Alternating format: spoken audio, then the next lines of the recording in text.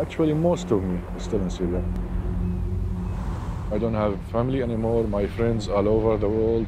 Almost my everything that's inside me is not here, it's in Syria.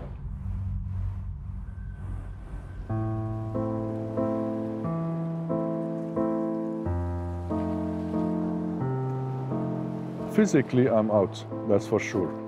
not, not that sure, I mean. But what I miss exactly is the relations with my friends, my family, the good places, the moments of happiness I lived there, my, uh, the girls I loved, all the, the beautiful feelings, that's what I miss. But not the real, like, punch of soil that's controlled by the army and, like, under the boots of the Assad regime.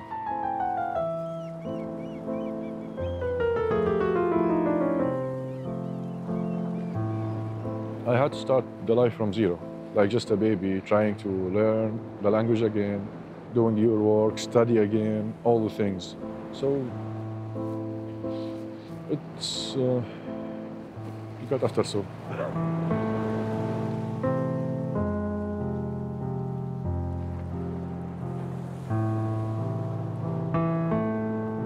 Basically, my main work is following the human rights violations in Syria regarding the media, the freedom of information, and other human rights violations.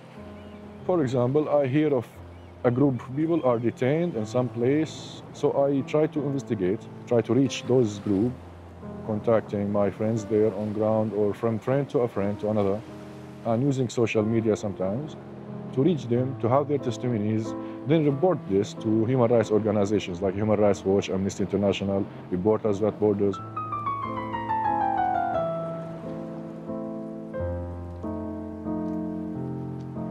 We cannot compare the respect to human rights in the European countries and Syria. We cannot compare that because in Syria there is no mention of human rights. There is no mention of humans. Everything in the country is controlled by the elite, the regime and its men, and they are having all the advantages of Syria. Most cases people were picked up from the street from their homes. There was no record of their uh, detention.